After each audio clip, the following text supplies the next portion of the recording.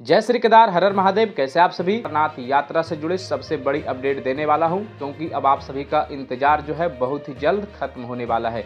आप सभी लगातार ये सवाल कर रहे थे कि आखिर जो केदारनाथ यात्रा मार्ग टूटा है, उससे पैदल यात्रा हम लोग कब से कर सकते हैं? तो दोस्तों, इस पर बहुत ही बड़ी अपडेट आ गई है और अब आप सभी का इंतज़ार भी खत्म होने वाला है। तो दोस्तों, इससे पहले मैं बता दूँ, श्री केदारनाथ यात्रा से जुड़े आप सभी लेटेस्ट अपडेट पाना चाहते हैं हर रोज़।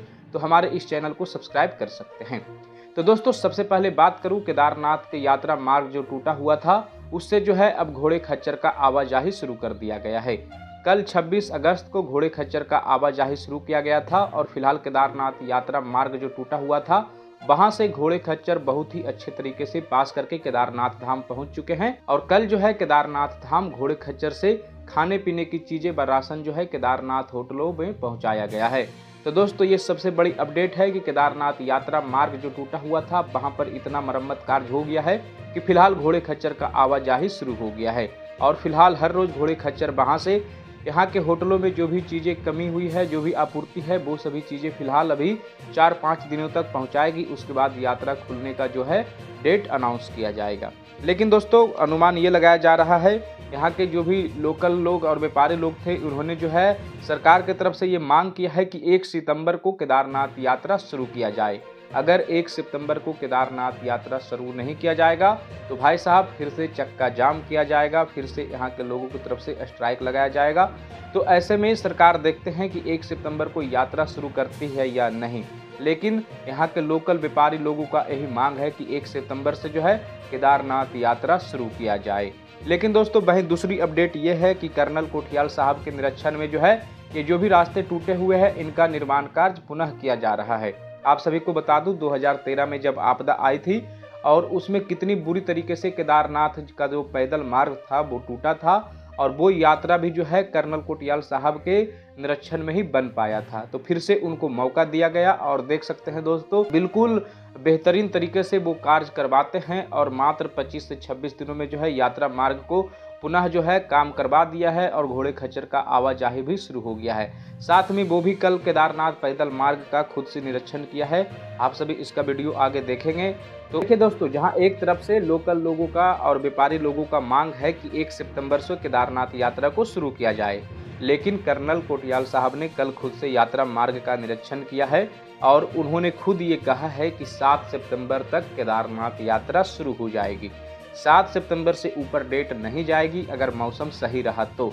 तो दोस्तों, फ़िलहाल जो है दो अपडेट है। लोकल की तरफ़ से ये मांग किया जा रहा है, गवर्नमेंट की तरफ़ से एक सितंबर से केदारनाथ यात्रा शुरू कर दिया जाए। लेकिन कर्नल कोटियाल साहब खुद यात्रा मार्ग बनवा रहे हैं, खुद उन्होंने निरीक्षण किया है। तो वे बता रहे हैं कि 7 सितंबर तक यात्रा जो है शुरू कर दिया जाएगा। अब फ़िलहाल ये अभी तक कंफर्म नहीं है कि यात्रा मार्ग जो है एक को शुरू होगा या सात सितंबर को शुरू होगा। लेकिन हाँ इतना मैं कह सकता हूँ कि सात सितंबर तक हर हाल में केदारनाथ यात्रा शुरू हो जाएगा।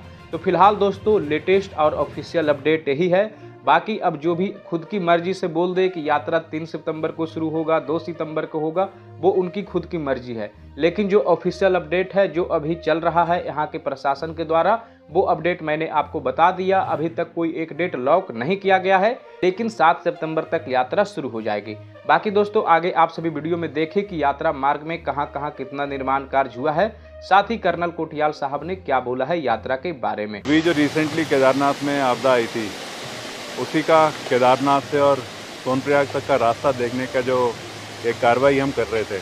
तो इस समय हम खड़े हुए हैं लिंचोली के उस स्थान पे, जहाँ पे कि एक फ़ेमस गधेरा आता है। और यहाँ पे क्योंकि इलाका थोड़ा चौड़ा है जहाँ से पानी आता है तो यहाँ पे सबसे पहला जो खबर आई थी कि क्लाउड बर्स्ट हुआ है और उसका जो इफ़ेक्ट है वो ये स्थान है। लेकिन अभी मैं देख रहा हूँ कि जिस मकसद से मुख्यमंत्री जी, पुष्कर धामी जी उत्तराखंड सरकार को समझा रहे हैं अपनी सोच। और जिस प्रकार से उत्तराखंड सरकार कार्रवाई कर रही है तो यह लिंचोली जो कि एक आपदा से काफ़ी ज़्यादा डैमेज हो रखा था, बावजूद इसके कि रोज़ बारिश हो रही है, बावजूद इसके कि अभी कंडीशन काम करने के लिए उतनी थोड़ी सी मुश्किल हैं। उसके बावजूद यहाँ पे मैं देख रहा हूँ कि जिस तरीके से लेबर काम कर रही है, जिस तरीके से गवर्नमेंट की जो एग्जीक्यूटिंग एजेंसी है वो उस काम के लिए इनको जो जिम्मेवारी दे रखी है तो उसमें तो काफ़ी तेज़ी से दिख रहा है कि रास्ता चौड़ा भी हो गया है। और जो मेन यात्रा हमारी उम्मीद होती है शुरू होने की इस बार बरसात के बाद का जो सेकंड फ़ेज़ है, उसमें कोई आठ दस सितंबर से तीन नवंबर तक, उसके लिए जो इस स्थान पर रास्ते के चौड़ीकरण की ज़रूरत है, यात्रियों की सुविधा के लिए, घोड़े कच्चरों के चलने के लिए, वो काफ़ी तेज़ी से चल रहा है। एसडीआरएफ भी यहाँ पे डिप्लॉयड है। एसडीआरएफ भी जगह जगह जा कर के उन सब जगहों को आइडेंटिफाई कर रही है कि यात्रा जो सुचारू होगी दोबारा से तो उसमें कैसे यात्रियों को सेफ़ तरीके से बड़ी मात्रा में मूव कराया जाएगा आगे आए, आगे जाएँगे तो आपसे शेयर करेंगे कि इस रास्ते में और किस प्रकार की आज की स्थिति है। तो दोस्तों, उम्मीद करते हैं वीडियो में दी गई जानकारी व देख सकते हैं कर्नल कोठियाल साहब ने खुद बताया है यात्रा मार्ग के बारे में तो ये सब जानकारी आप सभी को पसंद आई होगी।